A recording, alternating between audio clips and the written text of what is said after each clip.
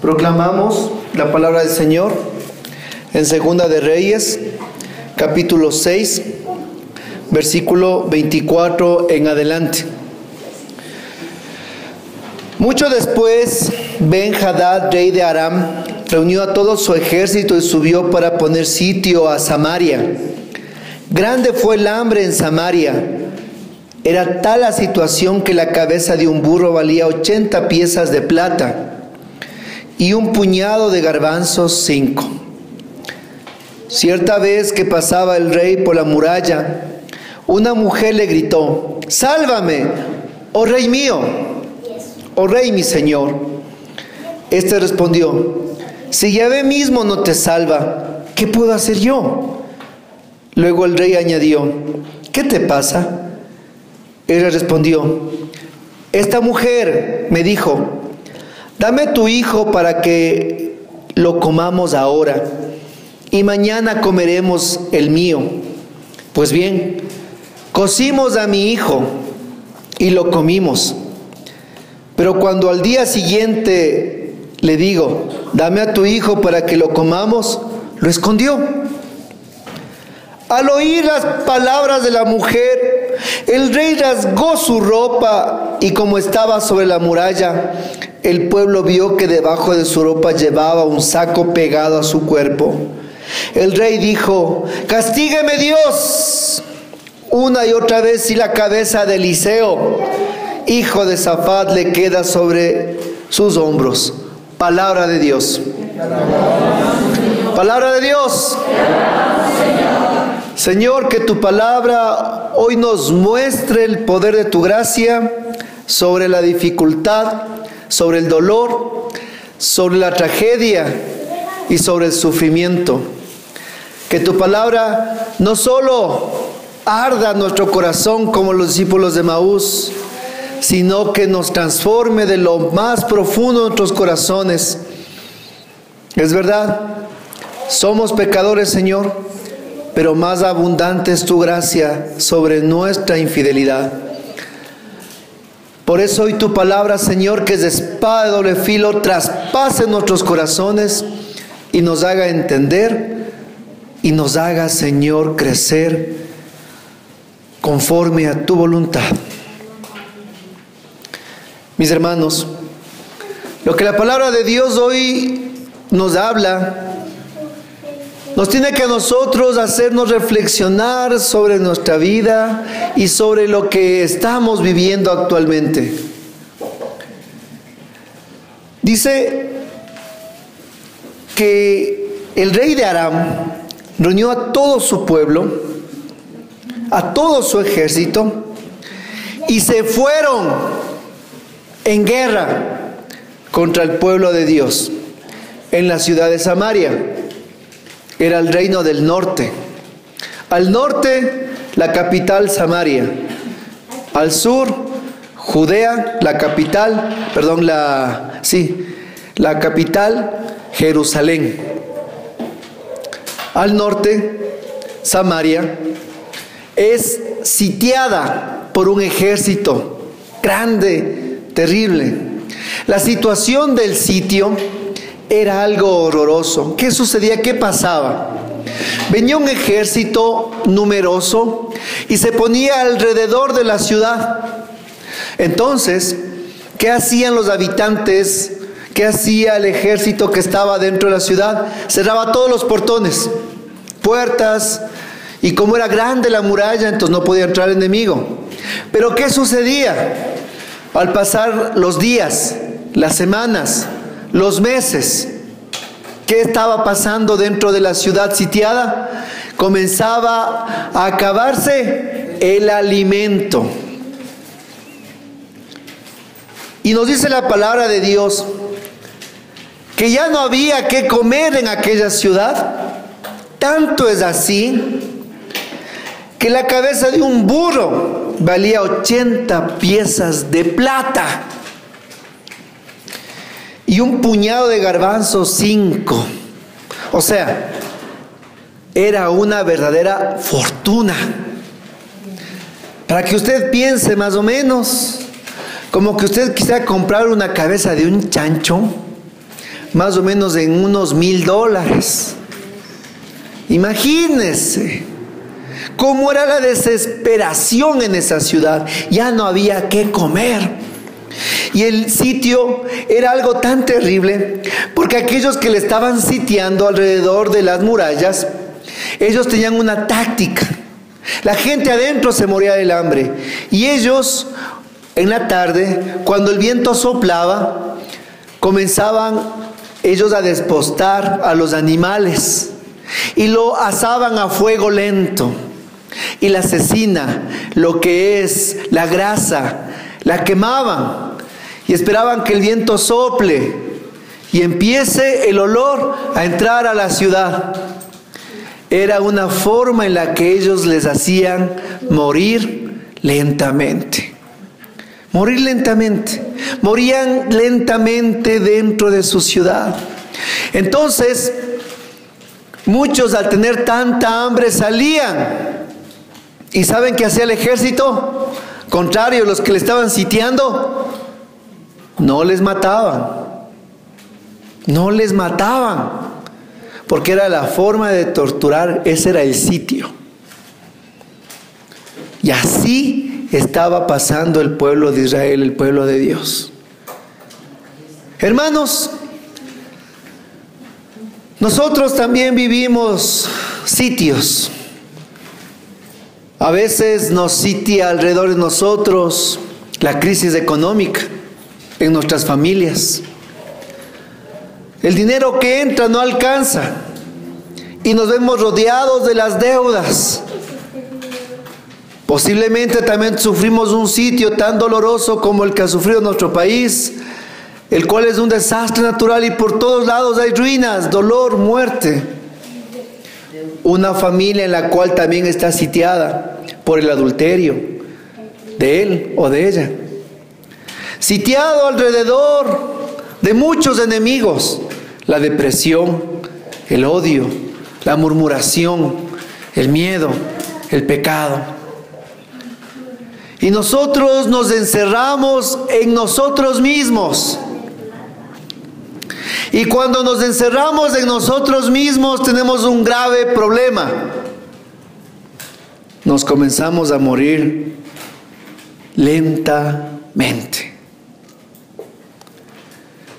Cuando resucitó Lázaro, lo primero que Jesús pidió a aquellos que estaban ahí, les dijo, muevan la piedra. Y le dijo Marta, la hermana de Lázaro, pero Señor, ya huele mal. Y Jesús dijo, por eso mismo abran, quiten la piedra, porque tiene que entrar aire, luz. La peor manera que usted y yo entramos a una crisis es cuando nosotros comenzamos lentamente a podrirnos internamente la mente y el corazón. Y lo primero que Dios quiere es que abra usted esa tumba. Volviendo al pueblo de Dios, ese sitio que estaban viviendo.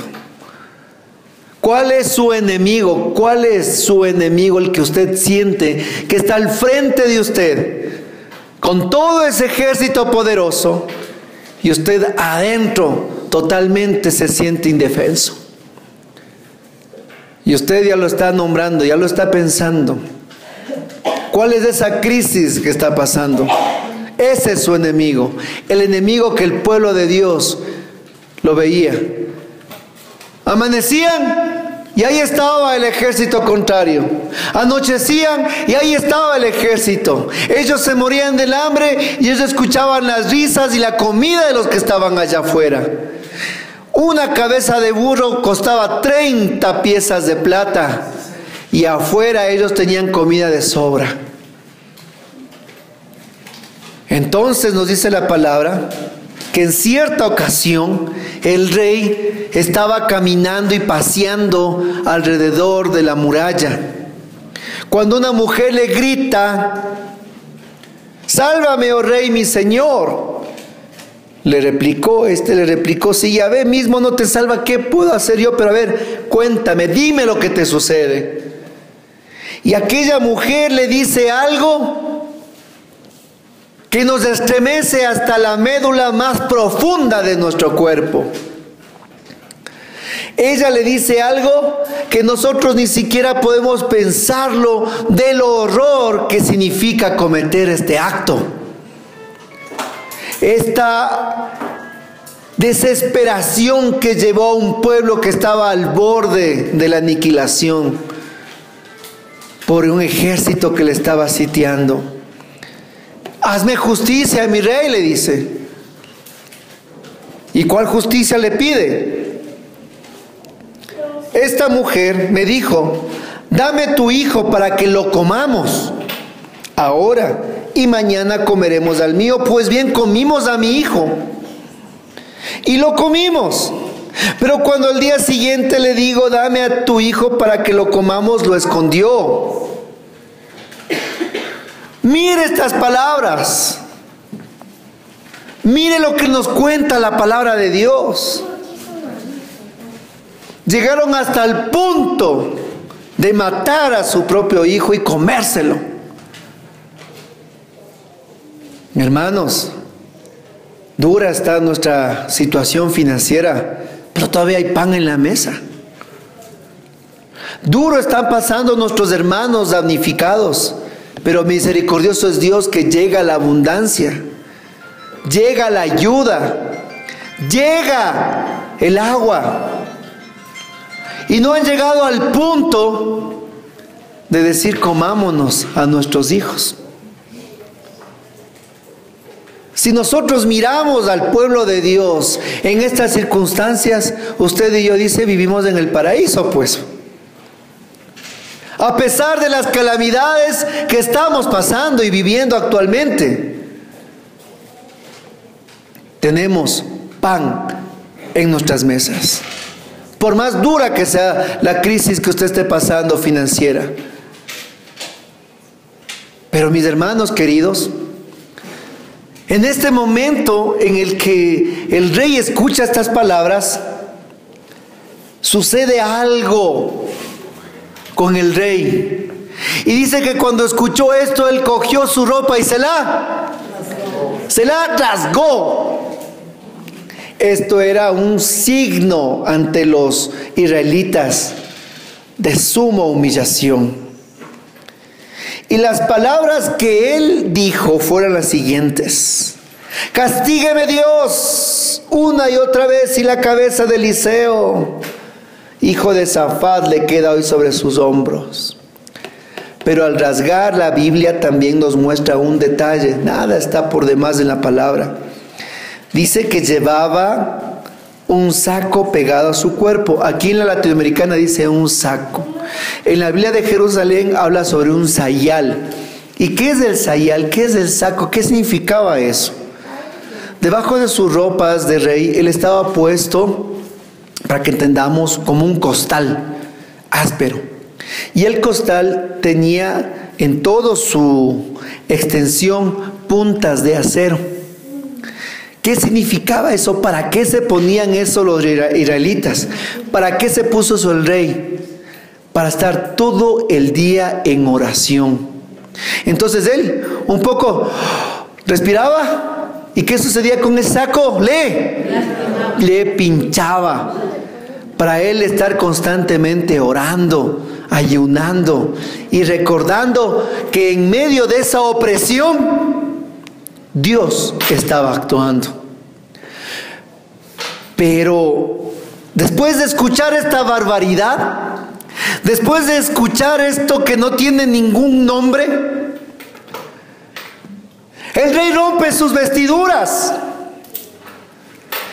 y él dice, palabras en las que usted y yo, en un momento de dolor o de desgracia, posiblemente las diremos o las hemos dicho. ¿Y saben cuáles fue? Si es que el día de hoy sigue Eliseo con su cabeza, no soy yo, dijo. Hoy le volamos la cabeza a Eliseo. A usted decir, ¿y quién era Eliseo? ¿Quién era Eliseo? ¿Quién era Eliseo? Eliseo era el profeta de Dios, el sucesor de Elías. Castígueme Dios una y otra vez y la cabeza de Eliseo sigue en sus hombros. ¿Saben por qué? Porque el profeta de Dios, Eliseo, constantemente les estuvo animando el tiempo del sitio. Entonces el pueblo ya estaba desfalleciendo, ya entreguémonos a ese pueblo, ya que vengan a hacer cualquier cosa, ya no soportamos este sitio. Y venía Eliseo, pueblo de Israel, pueblo del Señor, levántense, adelante, el Señor está con nosotros, ánimo. Venía Eliseo y todos otra vez se llenaban de esperanza, Dios nos va a salvar. Y así pasaron un día, dos días, una semana, dos semanas, un mes. Ya no había que comer. Y el pueblo otra vez estaba entrando en crisis. Y Eliseo se levantaba y predicaba la palabra y hablaba en el nombre del Señor y exhortaba al pueblo de Dios. Y saben que el pueblo otra vez se levantaba su ánimo, su fe. Y mis hermanos, Así pasó todo este tiempo. Hasta que un día dijo el rey, basta, yo ya no le creo a este Eliseo. Le vamos a cortar la cabeza. Porque a veces eso sucede en el grupo oración, al servidor, al predicador, al sacerdote. Nos predica la palabra del Señor, predicamos la palabra del Señor y nosotros sentimos que no pasa nada en nuestras vidas, que todo sigue igual o peor. Ahí está, dicenle. Ahí está el hermano. Así habla. Porque, le, porque a él le paga el Papa, dicen, ¿verdad? El hermano Rubén predica porque recibe mensualmente un cheque del Papa, dice. Y queremos cortarle la cabeza a Eliseo. Cuando nosotros empezamos a renegar en el tiempo del dolor o la carestía, levantamos esa voz. Y dice la palabra que Eliseo mientras tanto estaba sentado en su casa junto con los ancianos que estaban a su alrededor el rey mandó a uno de sus hombres, pero antes de que llegara el emisario, Eliseo había dicho a los ancianos, ¿saben que ese asesino mandó a alguien para que me corte la cabeza? Pongan atención cuando llegue el emisario, cierren la puerta y denle con ella en las narices. Seguramente se oirán los pasos de su amo detrás de los suyos. Todavía estaba hablando Eliseo con ellos cuando llegó a la casa el rey y dijo, esta desgracia viene de Yahvé. Dijo, ¿qué puedo ya esperar de Yahvé? ¿Qué dijo el rey? ¿Qué dijo el rey de Israel? Esta desgracia viene de Yahvé. ¿Qué puedo ya esperar de Yahvé? Él estaba renegando, decepcionado, decepcionado pocas palabras, estaba blasfemando. Es que miren lo que acabó de presenciar y escuchar. Se estaban comiendo entre sí y estaban matando a sus hijos para no morir de hambre. El rey entró en un momento de ofuscación, en un momento de desesperación. Y en ese momento de total desesperación, él reniega de Dios. Esta desgracia nos viene de Yahvé. ¿Qué puedo ya esperar de Yahvé? Dijo el rey. Me cansé, me cansé de ir a misa, me cansé de ir a la oración, me cansé de perseverar en el ministerio, me cansé de servir, me cansé de ir a las procesiones porque no tengo el milagro. ¿Cuántas veces he ido, le he rogado a Dios, le he clamado, he llorado? Y, y, no veo nada. Estoy porque antes. Así renegó el rey de Israel. con dolor, con sufrimiento, con ira, con desesperación, con odio, con angustia, con impotencia. Y son actitudes que a nosotros también nos pasan en la vida. Y pensamos que Dios nos ha abandonado y pensamos que Dios no nos escucha. Y creemos que estamos solos.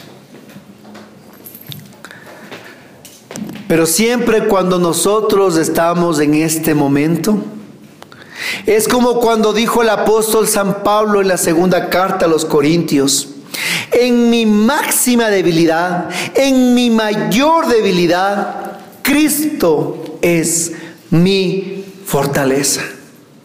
Entonces me preciaré de mis debilidades, porque mientras más débil soy, más fuerte soy en Cristo. Empieza el momento de Dios. Cuando todo parece que está perdido, cuando todo parece que está en tinieblas, cuando todo parece que ya no tiene solución, entonces dice el Señor, ahora me toca mi turno. Ahora soy yo. Eliseo dijo, capítulo 7, verso del 1 en adelante, escuchen la palabra de Yahvé. Esto dice Yahvé, mañana esta misma hora en la puerta de Samaria, una medida de flor de harina se venderá por una moneda y dos medias de cebada por una moneda. El oficial en cuyo brazo se apoyaba el rey dijo al hombre de Dios, aunque Yahvé abriera las ventanas del cielo, eso no ocurriría. Eliseo le dijo, muy bien, tú lo verás con tus ojos, pero no comerás. Esta partecita. Llega la palabra de Dios a Eliseo y Eliseo profetiza. Y les dice, mañana, o sea, 24 horas. 24 horas después. ¿Qué nos dice que va a pasar? Que la harina se venderá por una monedita y dos medias cebada por una moneda. O sea, ¿cómo? Si la cabeza del burro valía 30 monedas de plata y ahora nos dice que la harina costará una monedita. Como que usted le dijeran, vea, vaya a comprar tranquilamente un costal de arroz por 10 centavitos. ¿Usted qué dice? Se volvió loco el hermanito, pobrecito, lindo era, ¿verdad? Ahora anda hablando locuras. ¿Qué va a pasar eso, pues? Y eso le dijo el escudero del rey, en el cual el rey descansaba, dice.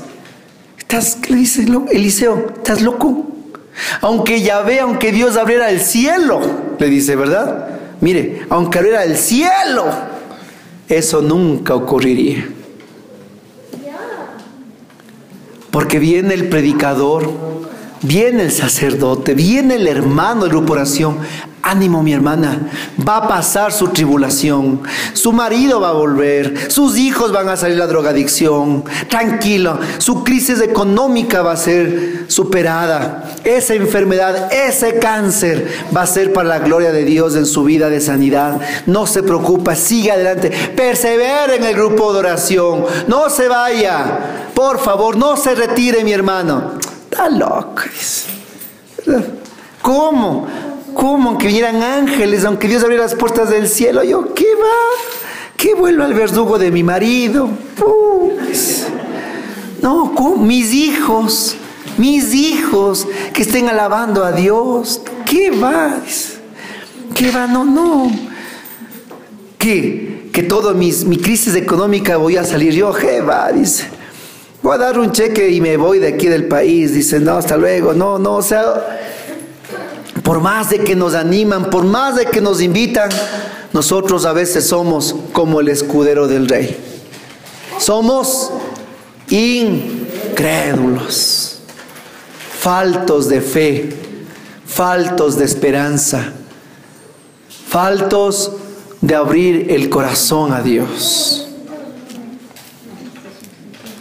Es como cuando mi mamá, yo tenía 19 años, mi hermano, no, perdón, 18 años, Santiago, que es el coordinador de renovación, tenía 21, mi otro hermano tenía 15. Mi mami ya iba a los grupos de oración y en oración una hermana le dice a mi mamá, hermana, hermana, dice el hermano, tus hijos, tus hijos me serán vasos útiles. Y mi mami con esa, con esa profecía dice que se había sentido en el cielo. Por ese día era 31 de diciembre. Y ella se fue lejos por la Tacunga a orar, pues y nos dejó solitos. Todo el día, imagínense, 31 de diciembre. Nosotros hicimos de la casa Sodoma y Gomorra. Una fiesta que armamos. Yo fui viuda toda la tarde y la noche. Imagínense. Y los parlantes eran la ventana y los amigos, las amigas súper amigueros, fiesteros y todo ahí. Y mami, todo venía ella pues del grupo con esa promesa que tus hijos me servirán y ella contenta y cuando ella llega con la promesa, yo lanzándome a los carros, mi hermano Santiago acostado en la vereda por el trago y la fiesta en la casa desborotando. Y ella había escuchado tus hijos me servirán. Y ahí dijo, pero para nada.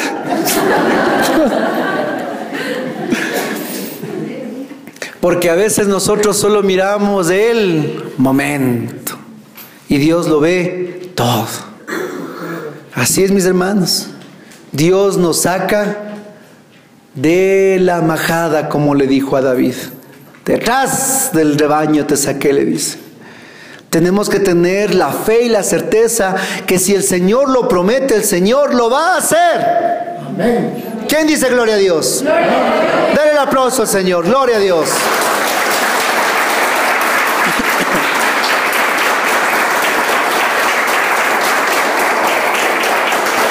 Pero ahí acaba, mis hermanos. La palabra del Señor nos sigue sorprendiendo. Cuatro leprosos yo, yo sinceramente creo que tendrían que hacer una película de este relato. Es increíble. Cuatro leprosos que estaban cerca de la puerta de la ciudad se dijeron unos a otros, ¿para qué nos quedamos aquí esperando la muerte? Si nos decidimos a entrar en la ciudad, moriremos, pues hay hambre en la ciudad.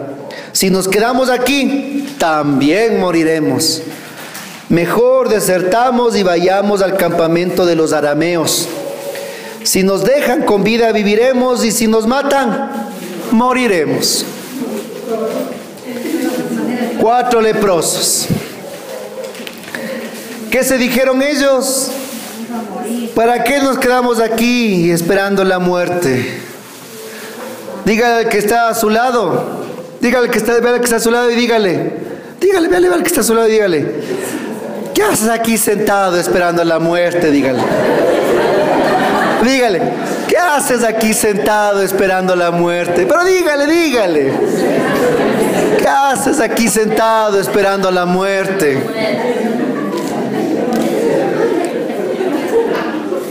Qué interesante, mis hermanos. Cuatro leprosos. Llegaron a una conclusión increíble. Estaban afuera de la ciudad en la puerta porque como eran leprosos, ellos no podían estar en el campamento. Así que dicen, si entramos a la ciudad, nos morimos de hambre. Si nos quedamos aquí en la puerta, nos morimos del hambre. Así que desertamos, vayamos al campamento arameo y si nos matan, nos matan. Si vivimos, vivimos. Como muchos que somos, ¿no? ¿Cómo está, hermanita? Aquí, dice. Viviendo para no ser soberbio, dice. ¿Verdad? O yo me acercaba a un hermano y dice, ¿cómo estás, hermano? Le dice, más o menos, dice. Me duele toda esta mitad del cuerpo. Y el otro le dice, a mí en cambio me duele el cuerpo entero, dice. Increíble. Y así estaban los leprosos, entre ellos lamiéndose las heridas. Así que nos dice la palabra de Dios. Poco después de la puesta del sol, se dijeron, se dirigieron al campamento de los arameos. Pero cuando llegaron a la entrada del mismo, vieron que no había nadie.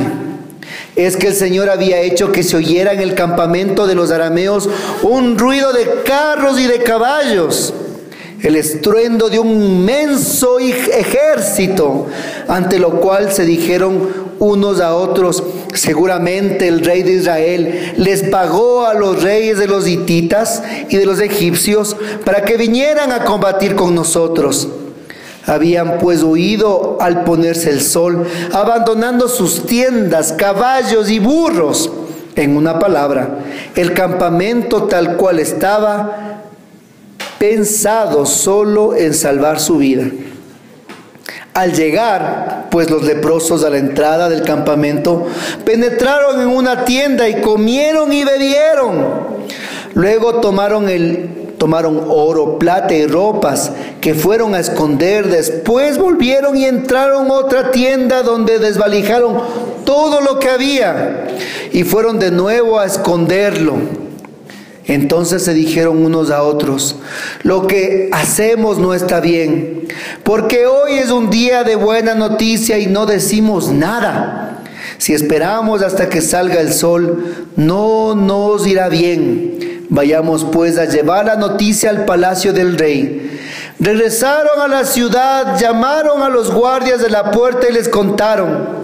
Fuimos al campamento los arameos y no hay nadie, ninguna presencia humana, sino solo los caballos y los burros atados y las tiendas tal como las dejaron. Palabra de Dios. Wow, ¿verdad? Vean lo que es la palabra. Van los leprosos al campamento los arameos. ¿Y qué escucharon este ejército? Escuchó que venía un ejército, dice, caballos, carros, un ruido tremendo y enorme y ellos se murieron de miedo. Y dijeron, el rey de Samaria ha pagado a los hititas y a los egipcios y vienen a matarnos. Sálvese el que pueda. Corrieron. Total habían sido cuántos? Cuatro leprosos. Cuatro leprosos. Es que así es, hermanos del Señor. De dónde Él manifiesta su poder y su gloria. Lo que dice el apóstol San Pablo en, las, en la primera carta a los Corintios capítulo 2. Dios ha escogido lo que el mundo tiene por necio, por vil, por nada, por basura para avergonzar a lo que es. Dice que Dios ha escogido lo que el mundo tiene por nada, por necio, por vil y despreciado. A eso ha escogido el Señor. Y escoge a estos cuatro leprosos para espantar a un ejército, mi hermano. Porque así lo hará el Señor. Porque así hará en nuestras vidas y así lo ha designado. Usted va a decir, ¿y esta es la solución? ¿Tan fácil es la solución? No ha de ser. Pero sí lo es. ¿Y saben qué sucede aquí con estos leprosos? Ellos llegan y ven el campamento listo. Tan listo que los pobres llegaron es a tragantarse de la comida a coger el botín de tienda en tienda y a enterar estaban ellos, ellos habían encontrado un gran tesoro, un gran botín. Y mientras ellos estaban en tanta algarabía, con tanta riqueza, ellos entran en razón y dicen, lo que estamos haciendo está mal. Vamos a avisar al resto del pueblo. Hermanos queridos, usted y yo somos el leproso. Nosotros somos el leproso. Al que está a su lado. ¿Le falta una oreja? ¿Le falta un diente? Ah, parece que sí. Mis hermanos, en nuestro pecado, en nuestra nada, Dios nos ha mandado a ser esos emisarios de buenas noticias. Y en verdad, así, que muchas veces nosotros no inspiramos miedo a nadie, cuando vamos nosotros en el poder del Espíritu Santo a evangelizar, a predicar, a misionar, hermanos, Vamos con un ejército, mis hermanos queridos. Vamos poderosamente resguardados del Señor. No somos solo los cuatro o los cinco. Somos nosotros y el ejército de Dios. Cada vez que usted se levanta a evangelizar, cada vez que usted se levanta a predicar, cada vez que la hermana o el hermano coge su guitarra y se pone a cantar, con los otros cuatro leprosos que están aquí. ¿Sí? Hermanos, Dios envía su ejército de ángeles. Y se oye un gran estruendo. Y los enemigos huyen. Gloria a Dios. Gloria al Señor. Bendito sea Dios. Huyen los enemigos huyen los adversarios. Pero ahora, ellos encontraron lo que nos dice Jesús en el Evangelio, el tesoro en el campo. ¿Se acuerdan? Un hombre encontró un tesoro en el campo, vendió todo lo que tenía por aquel campo porque sabía que estaba aquel, aquel tesoro. Pero ellos entendieron que el tesoro no era solo para ellos, sino para compartirlo. Hermanos, el tesoro de la evangelización, el tesoro de la palabra, lo que nosotros hemos encontrado a Cristo Jesús, no es para solo nosotros contentos y solitos. Es para compartirlo. Es para ir, mis hermanos, a predicar, a anunciar, para ir a los demás a decir, hemos encontrado un gran tesoro el reino de Dios. No para quedarnos callados. Yo le pregunto a usted, y me pregunto también a mí, esta semana, ¿a cuántas personas hemos hablado de Jesús? ¿A cuántas personas hemos invitado al grupo de oración? ¿A cuántas personas hemos evangelizado y llevado la buena nueva? ¿O somos solamente leprosos que nos metemos en la tienda a comer rico, a pasar lindo, a engordarnos y nada más? Cuando les cogieron a los apóstoles y les llevaron al templo y les dieron 40 palazos en la espalda cada uno por predicar a aquel hombre llamado Jesús. Después les trajeron y les dijeron, no me prediquen más a aquel hombre del Nazareno. Dice que Pedro se paró al frente y les dijo, no podemos dejar de hablar de lo que hemos visto y oído. A mí me estremece, mis hermanos, y me hace en el cuerpo toda una corriente al decir esas palabras. No podemos dejar de hablar de aquello que hemos visto y oído. Y nosotros no podemos dejar de hablar de Jesús, mis hermanos. No podemos dejar de hablar de aquel que ha sanado nuestras vidas, de aquel que nos ha levantado de nuestras miserias y de aquel que nos sigue amando y perdonando a pesar de nuestros pecados e infidelidades. Somos esos leprosos que tenemos que volver a nuestros hogares, esos leprosos que tenemos que volver a nuestros trabajos, esos leprosos que tenemos que ir a nuestra familia, anunciarles el reino de Dios. A veces es lindo quedarse en el grupo, como los leprosos en el campamento. Pero ellos dijeron, no, es justo que solo nosotros estemos aquí bien, mientras el resto se muere de hambre. Mis hermanos, hay una ciudad, un mundo que se muere de hambre, hambre espiritual, de una necesidad, de la luz del Evangelio. Muchas personas de las cuales hoy son damnificadas, muchos tal vez están como el rey, renegando de Dios, viendo la calamidad en su vida, en su ciudad, mirando los muertos que, dejó este terremoto y sus casas destruidas. Y necesitan que venga un leproso como nosotros y les volvamos a decir, hemos encontrado un gran tesoro. Hay mucha necesidad de un pan material en este momento, es verdad. Pero después de este caos vamos a tener una gran necesidad del pan espiritual y una reconstrucción de un pueblo que ha quedado sacudido no solo en sus casas, sino en su espíritu y en su corazón. Y si nos quedamos callados, entonces las piedras hablarán, mis hermanos. Pero la historia no termina ahí. ¿Está cansado? Yo sí, porque ni agua me dan. Dice la palabra. Los porteros gritaron y llegó la noticia al palacio del rey. El rey se levantó de noche y dijo a sus consejeros, les diré lo que hicieron los arameos, como saben que estamos hambrientos, abandonaron el campamento para ir a esconderse en el campo. Dijeron, cuando los israelitas salgan de la ciudad, los tomaremos presos y luego entraremos en la ciudad. Pero uno de los consejeros respondió, tomemos cinco caballos de los que quedan. De todos modos están destinados a morir, al igual que el total de los israelitas. Mandémoslos y veamos qué pasa.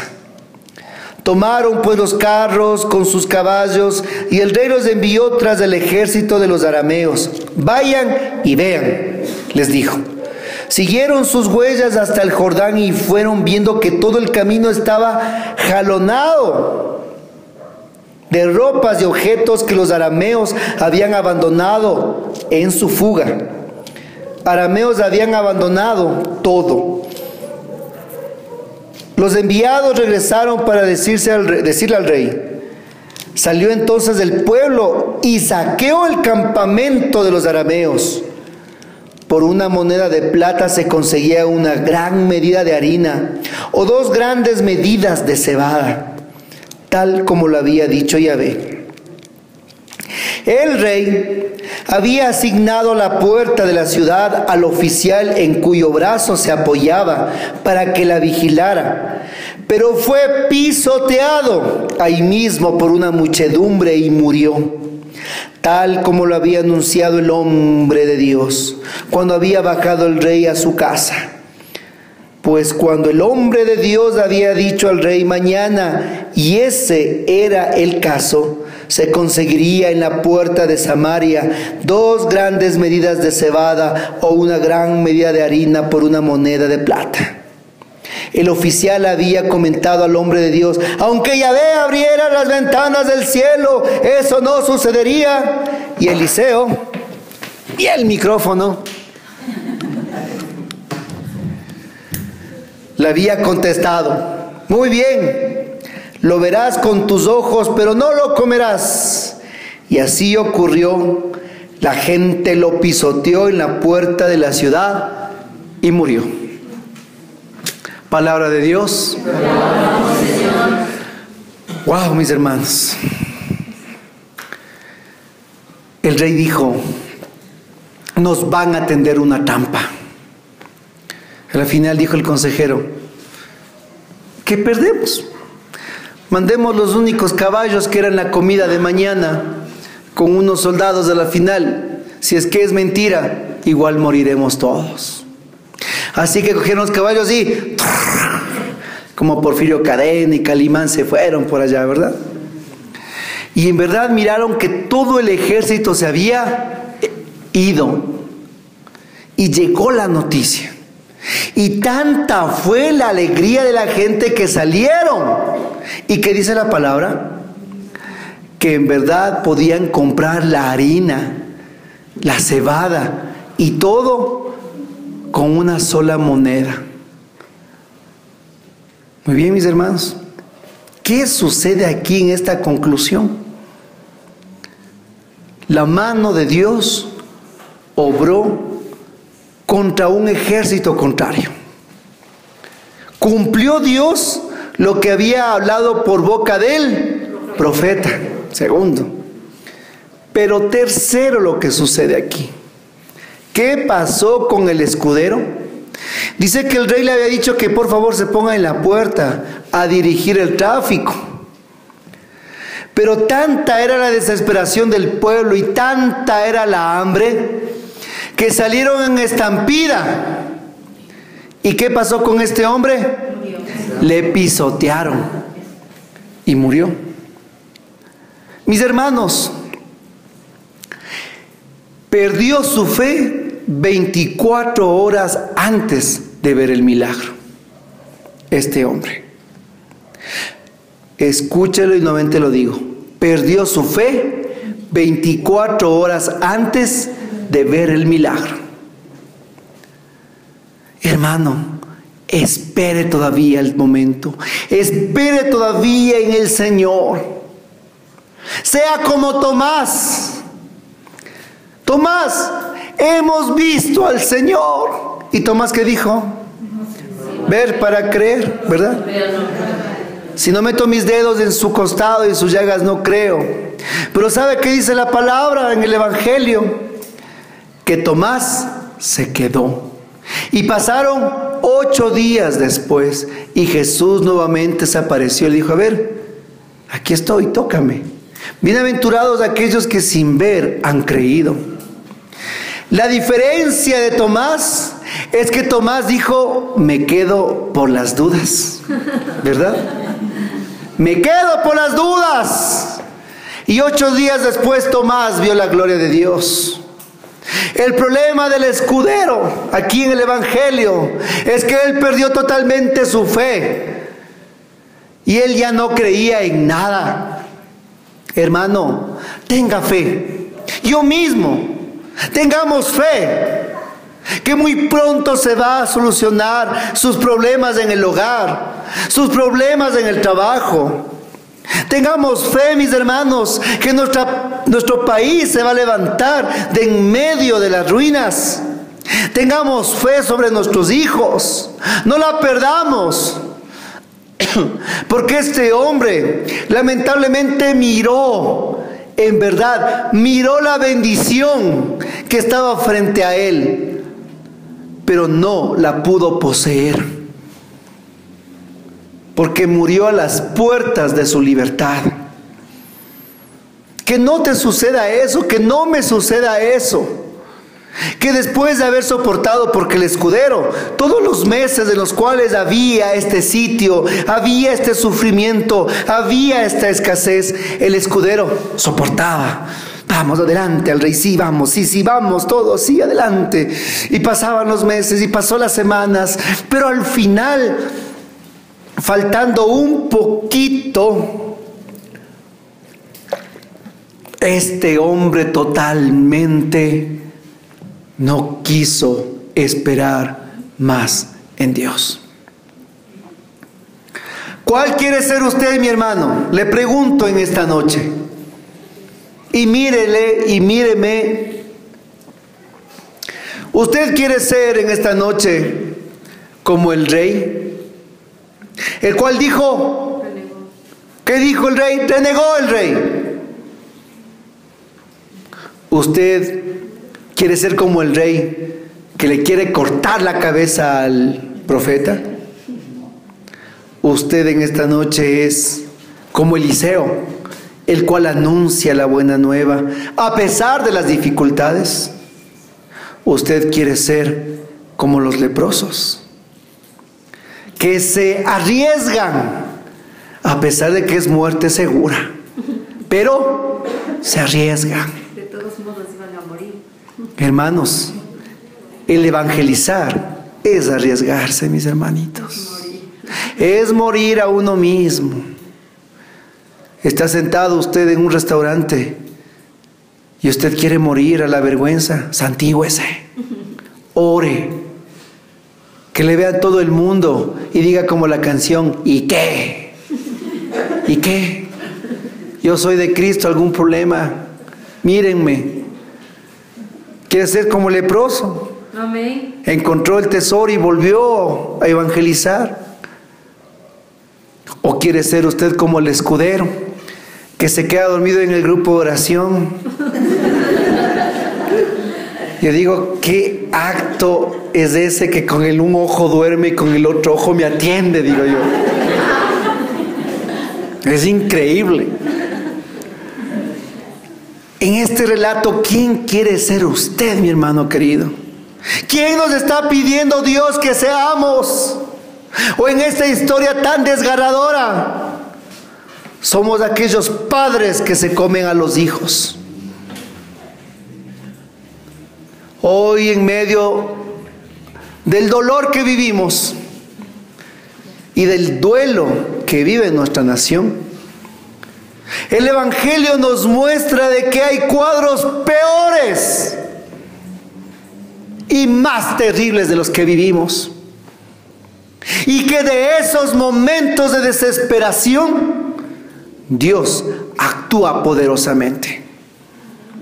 Y que jamás nos abandona. Y que jamás nos deja.